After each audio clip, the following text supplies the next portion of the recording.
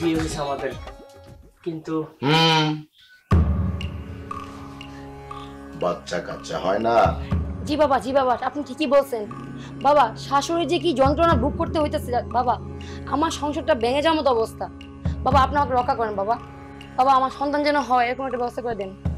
বাবার কাছে যখন আইসেই পড়ছস সমস্যার সমাধান একটা হইব। বাবার নাম নিয়ে হাত সামনে রাখ। জি বাবা জি।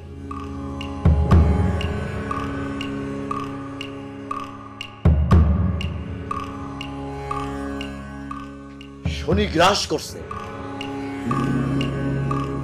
তাইলে বাবা উপায়? মা জননী তোমার হাতটা সামনে রাখো বাম হাত সোজা কর।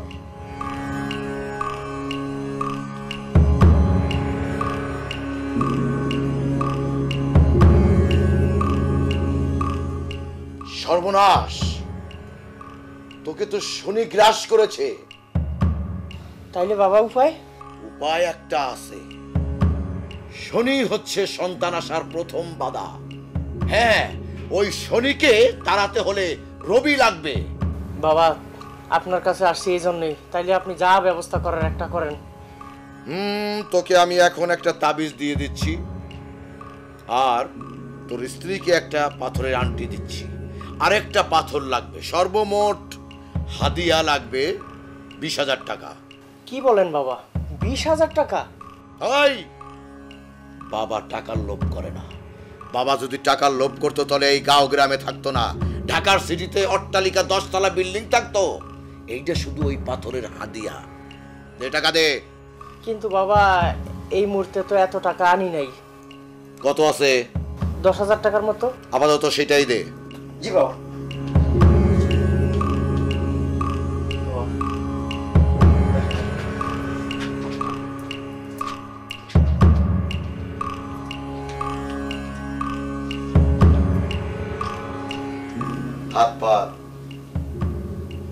এই সুতার মধ্যে এই তাবিজটা ভরবি। গলায় ব্যবহার করবি। মা জননী তোমার হাতটা সামনে দাও। এই তোমাকেও একটা পাথর সহ আংটি পরিয়ে দিলাম। বাকি একটা পাথর কালকে দশ হাজার টাকা দিয়ে তারপর নিয়ে যাবে। ঠিক আছে মনে রাখিস বিশ্বাস রাখবি আর কোনো চিন্তা করিস না। তোর বউর বাচ্চা অতি তাড়াতাড়ি আসতেছে। এবার তোরা আসতে পারস। জি বাবা কালকে অবশ্যই টাকা নিয়ে আমি হাজির হব তবে দোয়া করে নেওয়ার জন্য।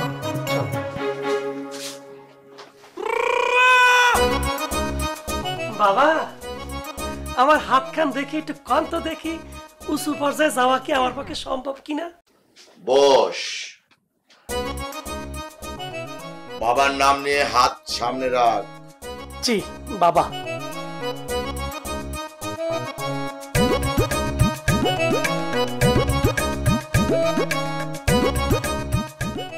শুভ তবে তবে কি বাবা?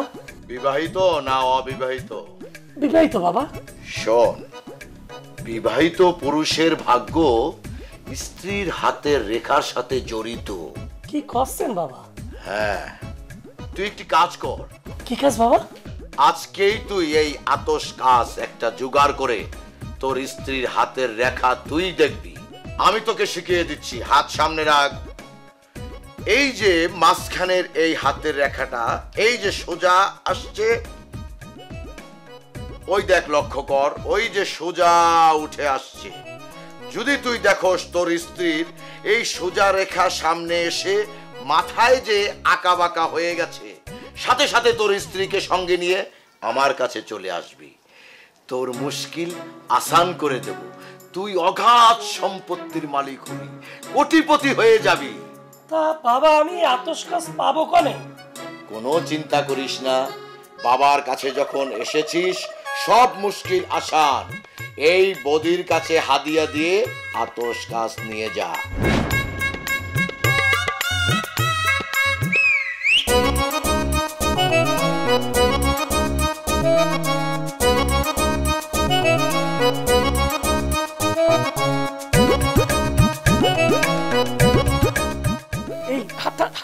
আরে হাতা নাড়ানাড়ি করতেছো কিসের জন্য? একটু ভালো করে দেখতে দাও।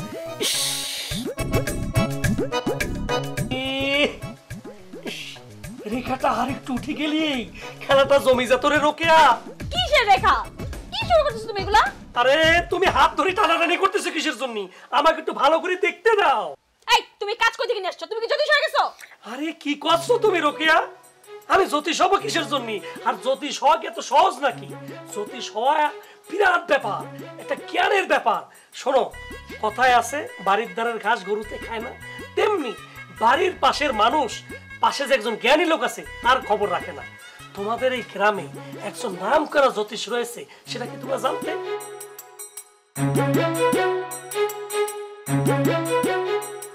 দেখছ কারবারটা? এলাকার সব দোকানপাট কোন সময় খুলে তারা ব্যবসা শুরু করে দিছে? আর আমার দোকান এখনও খোলাইও নাই। আল্লাহ জানে জামাই কোন জায়গায় গিয়ে ঘুরতেছে না কি করতেছে। ইস রে, প্রায় বাজে, পুনে এগারোটা। কি করি ওখানে? আল্লাহ গো, আল্লাহ আমার জামাইরে তুমি হেদায়ত করো, তারে জ্ঞান বুদ্ধি দেও আল্লাহ। শোনো, জ্যোতিষ বাবা বলিছে, যে স্বামীর ভাগ্য নাকি বইয়ের হাতের রেখার সাথে জড়িত। সে কারণে তোমার রেখা চেক করে দেখেছি। শোনা রে তোমার রেখাটা আর একটু উঠলে আর ঝামেলা থাকতো না। যেহেতু রেখা একটু ঝামেলা দেখা দিয়েছে তোমাক নিয়ে আমার ওই জ্যোতিষ বাবার কাছে যাওয়া লাগবে। তার মানে? তুমি জ্যোতিষের কাছে গেছো? আরে হ্যাঁ সোনা। শোনা এই জন্যই তো বলি তোমার কাজে মনোযোগ কেন নাই? আরে সোনা জ্যোতিষ বাবার কাছে যাওয়া ছাড়া তো কোনো উপায় নেই। বড় লোক হতে গেলে একজন জ্যোতিষ বাবাকে ধরতেই হয় বুঝতে পারছ রাখো তোমার বাবা। এই জন্যই তো বলি তোমার কাজে মনোযোগ নাই কেন? দেখো আব্বা তোমার অনেক শখ করে একটা দোকান দিছে। তুমি দোকানটা ঠিকমতো চালা আল্লাহ চাইলে আমাদের অনেক কিছু হবে। আরে হবে না। একটা জ্যোতিষ বাবার পরামর্শ না নিলি পারে। সম্ভব না। তোমার আব্বা কি করিস আমার কওয়া এই যে গ্রামের ভিতরে সবচেয়ে ছোট বিল্ডিংটা কার? আমার শ্বশুরের। এটা তো কোনো বিল্ডিং, এটা তো ইটের উপর মনে ইট দিয়ে দিয়ে বিল্ডিং উঠাইছে, উপরের টিন। দেখো, আমি যেটা করছি, জ্যোতিষ বাবার কথাবার্তা যেটা মনে হলো, তার পরামর্শ অনুযায়ী যদি আমরা চলি, বুঝতে পারিস? হুট করে দেখবা এই গ্রামের সবচেয়ে বড় লোক আমরা হয়ে গেছি। কিচ্ছু হইব না। আল্লাহ যদি না চায়, আমরা কিছু হব না। তুমি ঠিকঠাক মতো কাজটা করো, দোকানদারিটা করো আল্লাহ চাইলে আমাদের সব কিছু হইব তুমি দেখো না।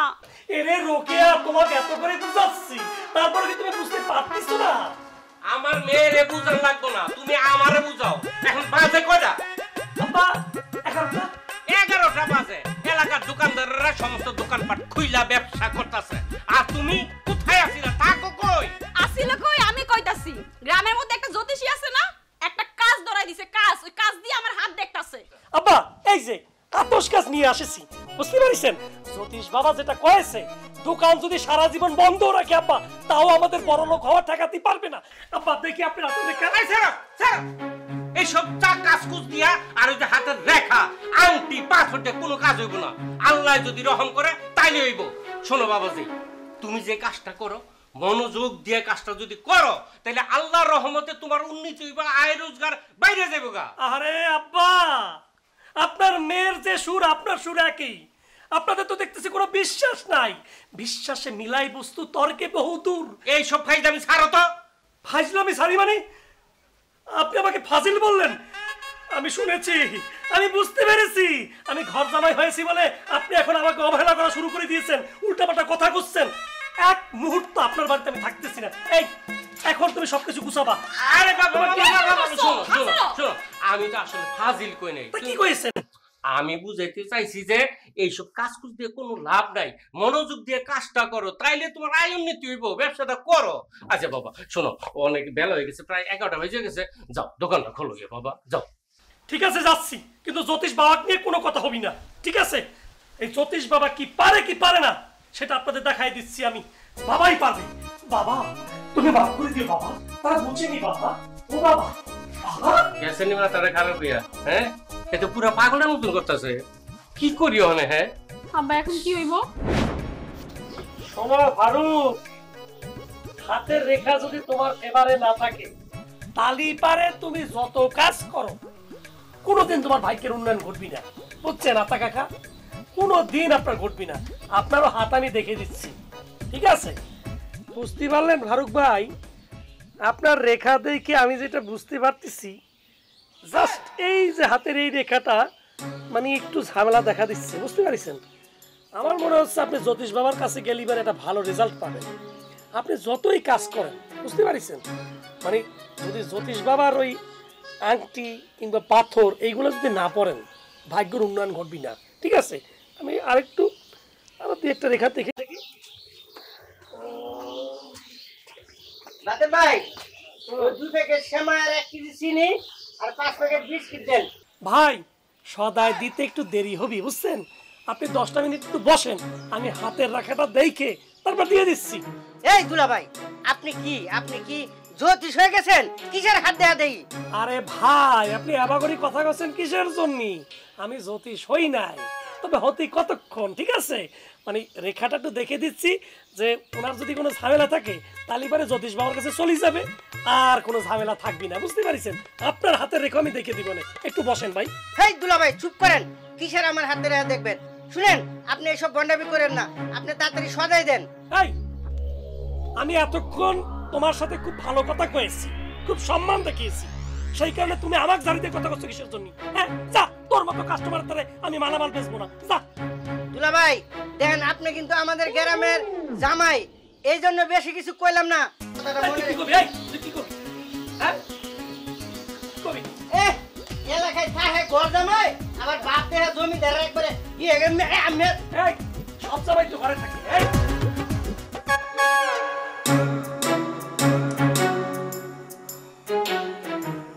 রোকেয়া তুমি আমার কথাটা কেন বুঝতে চাচ্ছ না? শোনো জ্যোতিষ বাবা তোমাক কয়েছে তোমাকে নেয়ার জন্য। যেহেতু তোমার রেখা একটা প্রবলেম পাইছি শোনা রে জ্যোতিষ বাবার কাছে গেলে আমাদের যদি উন্নতি হয় সমস্যাটা কনে গেলে? রাখো তোমার উন্নতি। তুমি আমার লগে ম্যাচ ম্যাচ করবে না আমি কিন্তু পাশের রুমে চলে যাব করে দিলাম এই তুমি পাঁচশো রুমে যাওয়া কিসের জন্য? আমি কি খারাপ কিছু পেয়েছি তোমাকে নিয়ে আমি কোনো খারাপ জায়গায় যেতে চাচ্ছি সতীশ বাবার কাছে যাও তারপর তুমি তাক দেখো তার যে তেলেসমতি দেখবা তোমার নিজেই অবাক হয়ে যাবা। তুমি আমি একটা কথা কই? তুমি জ্যোতিষ বাবাকে ফালাইয়া একটু কাজে মনোযোগ দাও তাহলে দেখবা তোমার উন্নতি হইতেছে। আরে বাবারে তুমি কেন বুঝতে পারতেছো না? সারাদিন কাজ করলে উন্নতি হবি না। দেখা গেল যদি রাহু রাহু যদি তোমার বিরুদ্ধে থাকে তুমি কেবা করে উন্নতি করবা? সে রাহুর দশা বাবা কাটায় দিবে। বুঝতে পারিছো? তুমি আমি কালকে সকালবেলা যাব শোনা তুমি যত যাই কও আমি যাব না নে। রোকেয়া আমি নিজের চোখে দেখেছি রে। মানে পাঁচ বছর বিয়ের বয়স হয়েছে এই দম্পতির বাচ্চা হচ্ছে না। বুঝতে পারিস? কারণ শনির দশা পড়েছে। বাবা সে শনিকে সরাইয়ে রবি ঢুকাই দিচ্ছে। আর শনি আর রবি যাওয়ার পর সোমবারে বাচ্চা হবি তাই তো? হ্যাঁ হ্যাঁ। তোমার একটা দিমুনে। আমারও যদি যাইতে কইছো।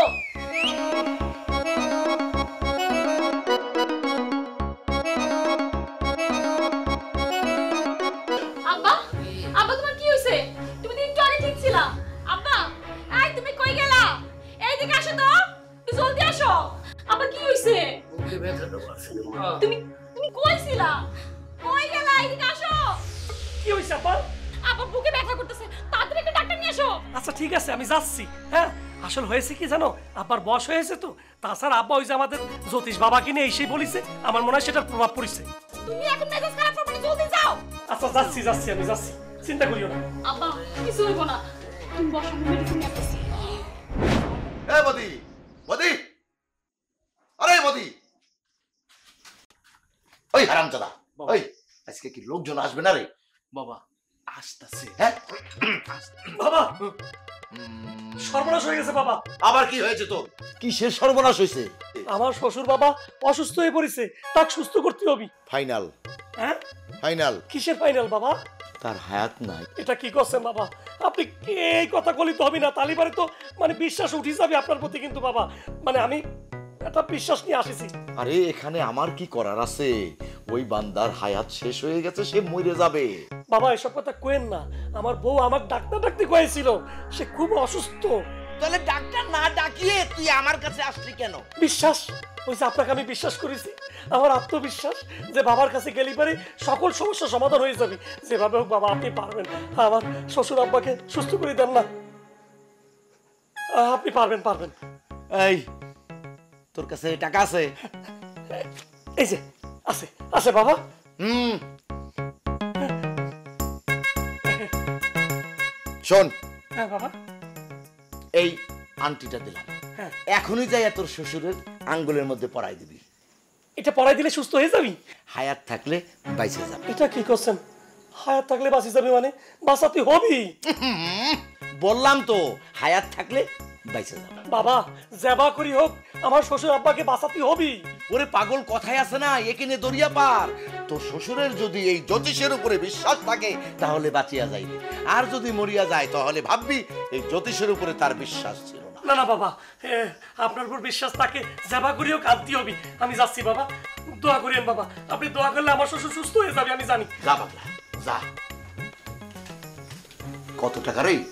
বাবা টাকা তো অনেক আছে গুনি না এখন। আরও রুগী আছে কিনা দেখ।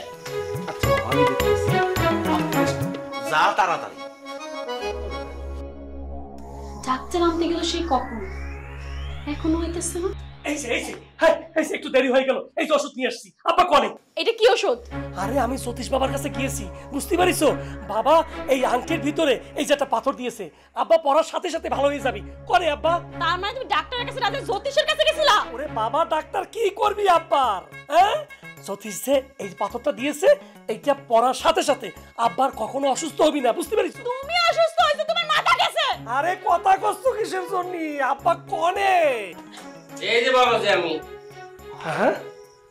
আব্বা আপনি সুস্থ হয়ে গিয়েছেন? হ্যাঁ গ্যাস্ট্রিকের ব্যথা হয়েছিল।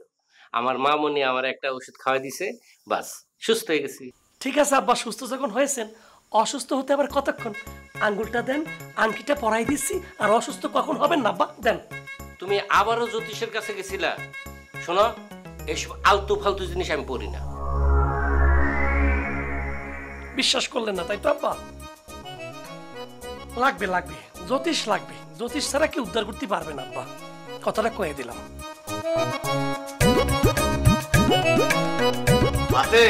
আমার প্রতি তোমার এত বিশ্বাস দেখে আমি খুব মুগ্ধ। তাই তোমাকে এই তাবিজটা দিচ্ছি। মাজায় বেঁধে রাখ। আর পাঁচ হাজার টাকা দাও। পাঁচ হাজার টাকা বাবা? এই এই যে এখানে পাঁচ হাজার আছে। হুম। আসসালামু আলাইকুম। ওয়ালাইকুম আসসালাম। আরে পাগলা বস বস। বাবা আমি তো বাবা আপনার কাছে এক সময় আসছিলাম সিরাজ স্যান্ডেল আর একটা প্যান্ট করে বাবা। বাবা আজকে তো আমি কোটি টাকার মালিক বাবা। শুধু এই আংটির বদলতে বাবা। বাবা আজকে আমি আমেরিকা লন্ডন সব জায়গায় বাবা আমার বাড়ি গাড়ি হচ্ছে বাবা। শুধু বাবা আপনি আরেকটু দোয়া করে দেন বাবা। আমি যে আরও বিশ্বের দশটা বারোটা দেশে বাড়ি গাড়ি করতে পারি বাবা। আরে পাগলা এসব তো সব পাথরের কারিশমা। বাতেন কি শুনলি কি বুঝলি? বাবা আমাকে পাথর দিবেন না বাবা? ধৈর্য সবুরে মেয়াও ফলে তুইও একদিন ওর মতো কোটিপতি হবি। ও ফকির ছিল একেবারে ফকিরনি আমার কাছে আসলো তোর মতো এরকম কান্দাকাটি করল। তারপর আমি পাথর দিয়ে দিলাম আজ দেখ সে শিল্পপতি কোটিপতি হয়ে গেছে। বাবা আমি সত্যি হতে পারব তো? হতে পারবি মানে? আরে রাহুর মধ্যে সামান্য একটা গিট রয়ে গেছে বুঝলি? ওই গিটটাকে আমি সারিয়ে দেবো নে পাথর দিয়ে। কোনো চিন্তা করিস না শুধু টাকা জোগাড় কর। ঠিক আছে বাবা টাকার কোনো সমস্যা হবি না। আপনি খালি সময় মতো আমার টাকার কথা কবিন বাবা টাকার কোনো সমস্যা হবি না। আমার সেবা করি হোক এই ভাইয়ের মতো আমার বড় লোক হতে হবে বাবা।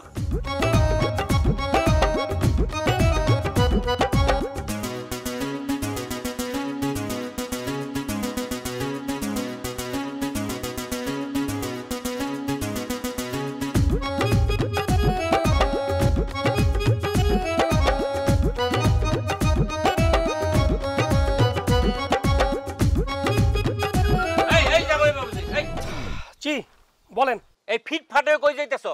আমি একটু জ্যোতিষ বাবার কাছে যাচ্ছি। ওরে বাবা রে তোমার কত করে বুঝাইলাম। সারা সপ্তাহ তো নামাজ পড়ো না, আজকে শুক্রবার। চলো জামাই শ্বশুর মিলে নামাজটা পড়ে আসি। তুমি নামাজের সময় পাইলা না আর এখন যাইতেছো জ্যোতিষ কাছে।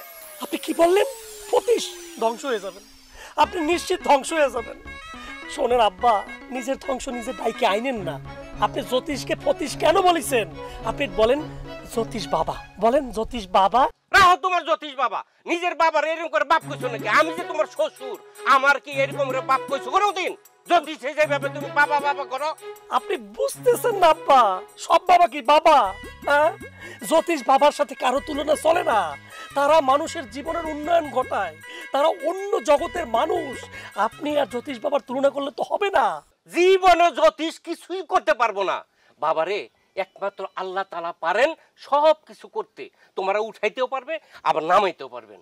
তুমি আল্লাহর নাম লও মসজিদে আসো নামাজ কালাম পড়ো। আচ্ছা আপনি যে কতিছেন যে জ্যোতিষের কোনো ক্ষমতা নেই তাই তো?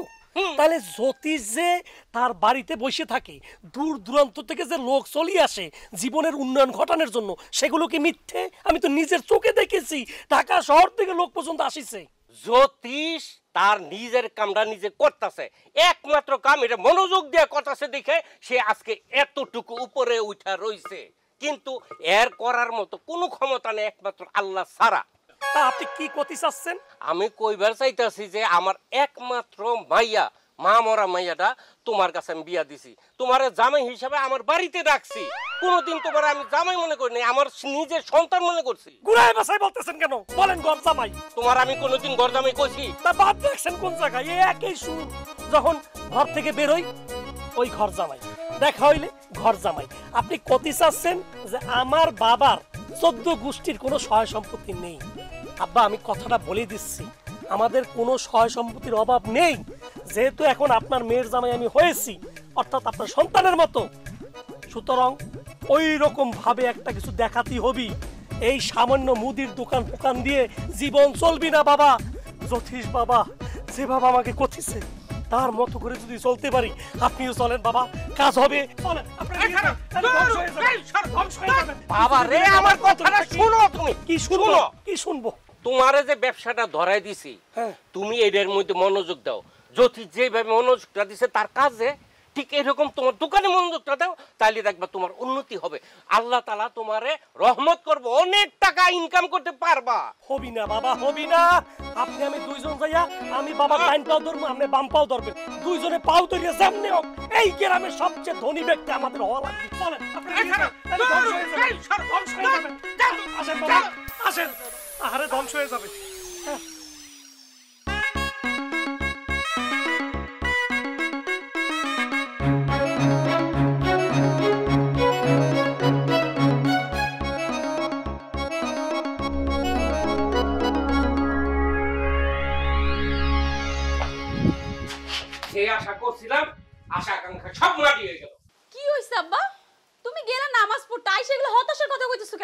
তারে দেয়া কোনো কিছুই হইব না। কারে দিয়া? তোর জামাই আবার কেডা? তা তোমার গুণধর জামাই কি করছে আবার? কি করে নাই? আচ্ছা কত? হ্যাঁ অনেক কই আছে? দোকানে গেছে। কচু গেছে। হ্যাঁ দোকান বাদ দিয়ে গেছে। জ্যোতিষের কাছে। জ্যোতিষে বলে হ্যাঁ লাখ লাখ টাকা দিব কোটিপতি বানাই দিব। আচ্ছা তুই কত মা? আল্লাহ ছাড়াই দুনিয়ার কোনো মানুষ কে আরও কিছু দিতে পারে?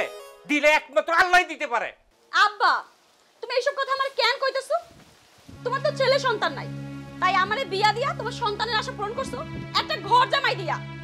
আমার সুখের কথা চিন্তা করছিলা? আমি কই ভালো থাকবে একটু জিজ্ঞাসা করছিলা? তা তো করো নাই। আর আমি যদি কিছু কই, তখন কবে মাইয়া আমার বিয়া তো। তাই আমি তোমার কথা শুনছি। এখন ঠেলা সামলাও। মারে, আমি কি জানতাম সেই রকম বাদাইমা তারে ভালো মনে করে তো ডাক্তাই না তোরে আমি বিয়ে দিয়ে দিলাম। আমার একমাত্র মাইয়া সুখে থাকব, তারে ব্যবসা বাণিজ্য ধরাই দিয়ে উঠাই দেবো ভাবছিলাম সেই সংসারের দায়িত্ব পুরাপুরি ভাবে ঠিকভাবে পালন করব। আমি একটু আরামাইশ করব চিল্লায় যামু, নামাজ পড়মু ঠিক মতন রোজা রাখমু, আল্লাহ তালার নাম লমু। কিন্তু আমার কপালে সেইটা নাই রে মা, সুখ নাই। হন এখন থেকে আমি দোকানে বসবো। ওই বাদামের দোকানে তোর কোনো দরকার নাই। যা বাদ দিয়ে খাইয়া দোকানে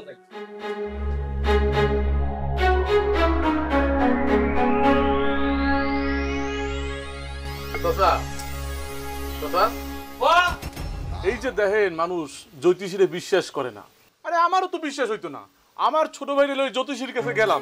জ্যোতিষী দিল একটা পাথরের আংটি।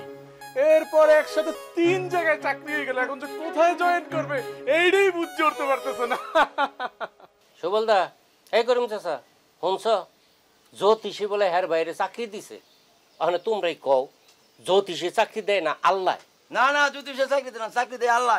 জ্যোতিষী তো উছিলা এই আংটি পরার পরই তো তিন জায়গায় চাকরি হয়েছে। তাই কি এর উছিলা জ্যোতিষ হ্যাঁ? জ্যোতিষ হলো বন্ধ কোনো কিছু দিবার পারে না একমাত্র আল্লাহ দিলেই সব কিছু দিতে পারে। হ্যাঁ হ্যাঁ আমি সত্যি কথা কইছি না এখন তো বিশ্বাস হইবে না আপনাকে। রে সবগুলি পাগল হয়ে গেছে এই এলাকার বুঝছ? জ্যোতিষে কি জাদু যে করছে আল্লাহ জানে। এই তোর চায়ের দাম দেওয়া লাগতো বাগানতে। হ্যাঁ এখন সত্য কথা কইছি না এখন আমার কথা বিশ্বাস হইবে না খাইলাম না চা। এই আমরাও পস্তাইবেন। আলাপ। আমরাও পস্তাইবেন। আলার দোকানে জ্যোতিষের টাকা রয়েছে হেন এই কথার লেগা। আরাম দাদা আরেকবার আইস আমার দোকানে। কি হয়েছে চাচা শফিকের লগে এভাবে সিলাইতেছেন কা আর কইস রে বাবা উল্টা সিধা কথা হলে মাথাটা ঠিক রাখতে পারি না গরম হয়ে জায়গা কে কি আর আজকে আপনি দোকানে বললেন দেখা একটু চা খাইতে আইলাম। আপনার মেয়ের জামাই আপনার এই দোকানদারে একবারে জ্যোতিষীর আস্থানা কানা বানাইছে হরে বাবা ঠিকই কইছস। এত ভাবে বুঝাই হ্যাঁ বুঝতেছে না। হ্যাঁ যদি একটা কথা কই হ্যাঁ দশটা কথা না কইয়া আমার উল্টা বুঝায়। যেমন আমি কিছু বুঝি না হ্যার কাছে আমি পোলাপান। এলো চলো। চাচা এখনও সময় আছে আপনার মেয়ের জামাইরে ফিরান। আর নাইলে কিন্তু একবারে গেছে একবারে তাবিজ কলম বানায়া একবারে দেশে পাগল বানায় ছেড়ে দিব। কেমনে ফিরা মরে বাবা ক? এই যে দোহানটা থুয়ে গেছে গা। দোহানো যে লাল বাতি জ্বলতাছে হ্যার মাথায় চিন্তা রই নাই। বাধ্য আমি বলছি, কিছু করার নাই তো? ব্যবসা তো চালান লাগবো।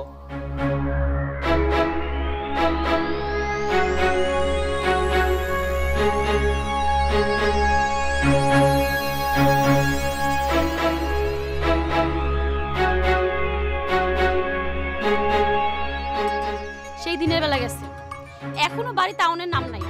আজকে বাড়ি তাহুক আমি নিশ্চিত। মোবাইলটা বন্ধ কইরা সেই জ্যোতিষীর কাছে পইরা আছে।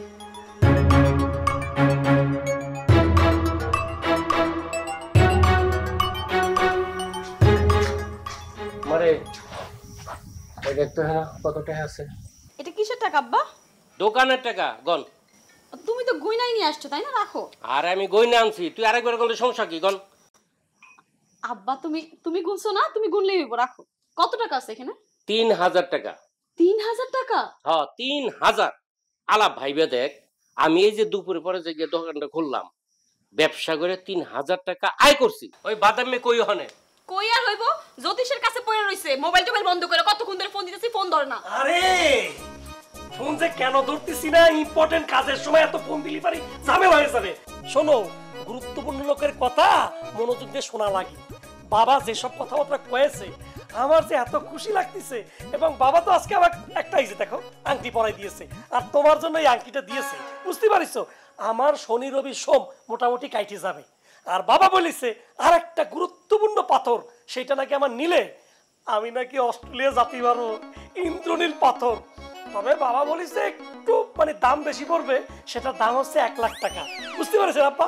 আমাকে জাস্ট একটা লাখ টাকার ব্যবস্থা করে দেন। আমি যদি অস্ট্রেলিয়া জাতি পারি আব্বা, আর অস্ট্রেলিয়া পৌঁছার পরেই তো আমি রোকিয়া সবার আগে তোমাকে নিয়ে যাবে, বুঝতে পারিস আর আব্বা, টাকা কত লাগে পাঠাবো আমি। এই দোকানে মোকানে আপনারা বসা লাগবে না, ঠিক আছে? আর এই যে এখানে সাততলা বিল্ডিং উঠবে, আর আপনি হবেন অত্র ইউনিয়নের চেয়ারম্যান। টাকা থাকলে পরে আব্বা, সবই সম্ভব। আব্বা, যান। অতি দ্রুত এক লাখ টাকা ব্যবস্থা করে দেন। সকালবেলা আমাকে জাতি হবে জ্যোতিষ বাবার কাছে।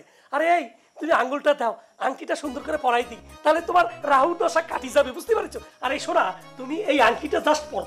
আসো আঙ্গুলটা দাও দাও। এই রাখ তোর আংটি। এক টাকা আমার আব্বা তোরে দিব না। আর কি কি করছস? দোকানের সব টাকা তুই জ্যোতিষীর পায়ে ঢালছস। আর একটা টাকাও তুই পাবি না। এই তোমার তো দেখতেছি ভারী গলা বাড়ি গেছে। হ্যাঁ? ঘর জামাই বলে আমাকে কি মূল্যায়ন করতেছো না? এত জোরে জোরে কথা করছ কিসের জন্য তুমি কিন্তু আমাকে ভালো করে চেনো। হ্যাঁ উল্টা পাল্টা কথা কবা না। কথা কলিবারে কিন্তু আমি তোমাকে তালাক দিয়ে দেবো কিন্তু কয়ে দিচ্ছি। তুই আমার কি তালাক দিবি? আমি তোরে তালাক দিব যেই স্বামী স্ত্রী সম্মান করে না সেই স্বামী আমার দরকার নাই। তুই আমার ভালো চাস না। তোর সংসার আমি করব না। এরে আব্বা তাকায় তাকায় কি দেখতেছেন? আপনার মাইয়া আমাকে কত বড় কথা করছে আপনি তো কিছুই করছেন না। কি কমো? তুমি তো খালি জ্যোতিষ জ্যোতিষ করো। যাও তোমার ওই জ্যোতিষের কাছে দশটা দিন থেকে আসো। দেখবা দুনিয়াটা কি আর বুঝবা জ্যোতিষটাও কি। আপনি আমার করছেন? হ্যাঁ তোমার করছি। ঠিক আছে আপনি বলেন তো। যে আমি জ্যোতিষ বাবার কাছে কি করব? ঠিক আছে আমি তার সাথে থাকব। ভাগ্যের উন্নয়ন ঘটাইয়া আপনাদেরকে আমি দেখাচ্ছি। আচ্ছা যাও। দেখি কতটুকু ভাগ্যের উন্নতি করতে পারে। ইস রে। মারে মা। কোনো চিন্তা করিস না। এই যে জামা যেভাবে গেল না দেখবি আবার ফিরে আইব তোর কাছে। মানে তালাক কোনো সমাধান না। আচ্ছা তুই এই পোশাকে কেন আসলি এখন? কাকা আমি যে অভিনয়টা করতেছি সবকিছু ঠিকঠাক আছে তো? একদম একশো একশো ভালো অভিনয় করছিস। কিন্তু তুই এই পোশাকে আসলি কেন? চলে যা তুই। তুই আসবি কম কম। যা চলে যা। অ্যাক্টিং ভালো করতেছি তাহলে তো আমার টাকা পয়সাও বাড়ায় আচ্ছা এই কথাটা তুই মোবাইলে কইলেও তো পারছিস হ্যাঁ? ঠিক আছে তুই চলে যা আমি তোর বিকাশে পাঠাই দেবো যা। না আমার টাকা এখনই লাগবে। আরে কালকে সকালবেলা ওই বুকা এক লাখ টাকা নিয়ে আইবো একেবারে দুনিয়ার হাবা। বুঝলি বলদ পুরা বলদ। এক লাখ টাকা? আরে হ যা কই তাই শোনে। কিরে কাকা হ্যাঁ, যদি গ্রামের লোক টের পায়? এই জন্য তো কইতেছি তুই তাড়াতাড়ি চলে যা। কালকে সকালে এই বাতের এক লাখ টাকা বন্ধ! এই, এদিকে আয়। না মামা মামা মামা মামা মামা এই এই তুই এত বড় সিটার তুই তুই আমার সাথে এটা কি করেছিস আমি তোক বিশ্বাস করে আমার সাথে গ্যাঞ্জাম করেছি আমার শ্বশুরকে আমি ভুল বুঝেছি আমার সুখের সংসার আমি তস তস করে দিয়েছি এই তোক বিশ্বাস করি এই ভণ্ড এই বুয়া জ্যোতিষ এই তোর আংটি না এই আংটি আর এই পাথর পল্লী পারে তার জীবন পরিবর্তন হয়ে যায়। এই ভণ্ড তুই কেন আমার বিশ্বাসের সাথে এইরকম প্রতারণা করলি? কিসের জন্য করেছিস? এই? তোর এই আংটি তোর এই পাথর রাখ তোর কসুর পাথর। তোর এই পাথরে কুষ্টি মারি আমি। আমি এখন পুলিশের কাছে যাব। তোরে আমি তোরাই দিতেছি। পালান মা পালান। তো এই টাকা, টাকা, আমার টাকা আমার টাকা। টাকা ব্যাগ আমি দিয়েছি। আপনি পা লাখ গ্রাম ছাড়ে ও বাবা রে ও বাবা রে ও বাবা।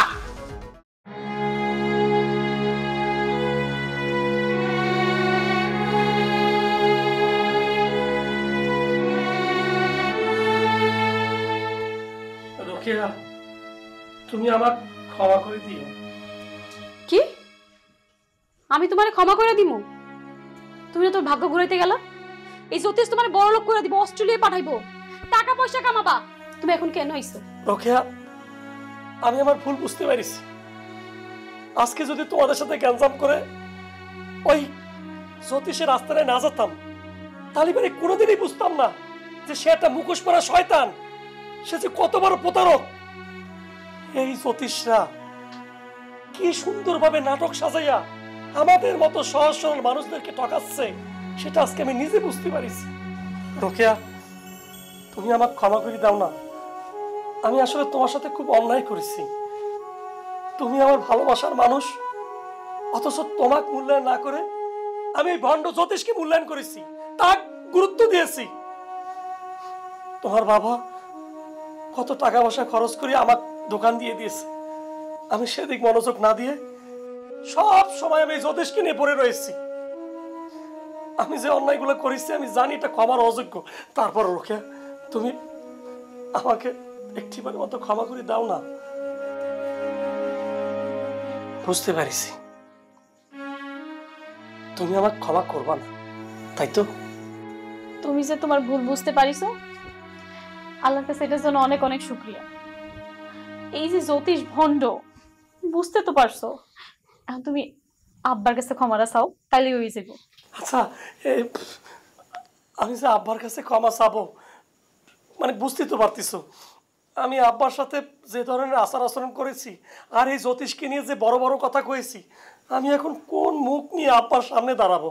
এই তুমি না আমার হয়ে একটু আব্বা কও না যে বাতেন ভুল বুঝতে পারিছে সে আর কোনো ভুল করবি না সে দোকান ঠিকঠাকভাবে সামলাবে এই মানে সমস্ত সংসার এখন থেকে আমি সামলাবো। তুমি একটু কও না। আচ্ছা তুমি এটা নিয়ে চিন্তা করিও না আমি আব্বারে কব। যাওয়া লাগবে না। আমি সব শুনছি বাবুজি। তুমি যে তোমার ভুল বুঝতে পারছ এতে আমি অনেক খুশি। আব্বা আপনি কি সত্যি সত্যি আমাকে মন থেকে ক্ষমা করতে পারতেছেন আব্বা? কারণ আপনার সাথে কিন্তু আমি অনেক খারাপ আচরণ করেছি সেটা আমি বুঝতে পারতেছি আব্বা। বাবারে তোমার তো আমি জামাই মনে করি না আমার ছেলে মনে করি। তোমার ক্ষমা করব না কেন কও? আমি জানতাম তোমার ভুল একদিন ভাঙবো। ওইটা যে জ্যোতিষী প্রতারক। ভণ্ড। তুমি বুঝতে পারবা। আব্বা আব্বা আপনি আমাকে কত করে বুঝাতে চাচ্ছিলেন? কিন্তু দেখেন আমি কিছুতেই কিন্তু বুঝতে চাচ্ছিলাম না। বুঝবা কেমনে? তোমারে কত করে কইলাম মসজিদে আসো নামাজ পড়ো আল্লাহরে স্মরণ করো। তুমি তো আমার কোনো কথাই শোনা নাই খালি জ্যোতিষ জ্যোতিষ করছ। ঠিক কথা কয়েছেন আব্বা। আসলে যদি আমি ঠিকঠাক মতো নামাজটা পড়তাম তাহলে পরে শয়তান আমার কান্দে ভর করতে পারতো না আর ওই জ্যোতিষকেও আমি বিশ্বাস করতাম না। আল্লাহর কাছে হাজার শুক্রিয়া যে অতি দ্রুত আমাকে হেদায়ত করেছে। ওই ভণ্ড জ্যোতিষের মুখোশ উন্মোচন করে দিয়েছে। তা না হলে পরে আরও তো খারাপ কিছু হতে পারতো আব্বা। বাবাজি তুমি যখন ভুল বুঝতে পারছ তাহলে একটা কাম করো। এই সংসারটা পুরা বুঝে নাও তুমি আর দোকানটার দিকে একটু খেয়াল দাও। আল্লাহ তোমার উপর রহমত করব। আব্বা আপনি আর কোনো চিন্তা করবেন না। দোকান সংসার কোনো কিছু নিয়ে আপনারা চিন্তা করা লাগবে না আব্বা ঠিক আছে? সব দায়িত্ব এখন থেকে আমার। আব্বা ওই আপনি না তাবলিকে যেতে চাচ্ছিলেন? তাবলিকে যাওয়ার প্রস্তুতি নেন। আচ্ছা বাবা ঠিক আছে। শোনো হাত মুখ ধুয়ে আসো একসাথে খাব আমরা হ্যাঁ? ঠিক আছে আব্বা আচ্ছা। এই আমার জন্য রান্না করিছো? তোমার জন্য আমি কেন রান্না করুম? তোমার তো সেই জ্যোতিষ শিখাইব হুম আমার লজ্জা দিতেছ।